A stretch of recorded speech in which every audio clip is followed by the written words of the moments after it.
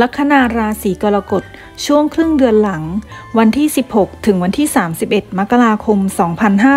2566 ดวงการงาน การงานคุณมีการเปลี่ยนแปลง มีการพลิกผัน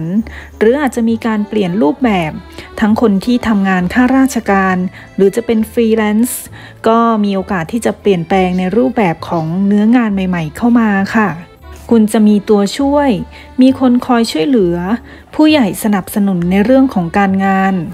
คุณจะมีงานเข้ามาค่อนข้างเยอะ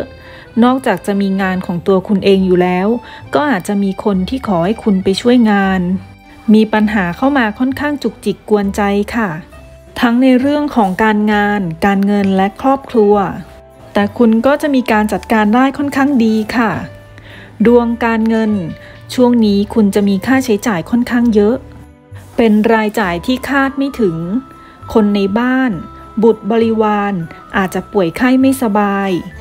ทางด้านการเงินก็ยังคงตึงๆอยู่ค่ะ แต่คุณก็จะหมุนเงินได้ทันสำหรับใครที่ทำอาชีพค้าขาย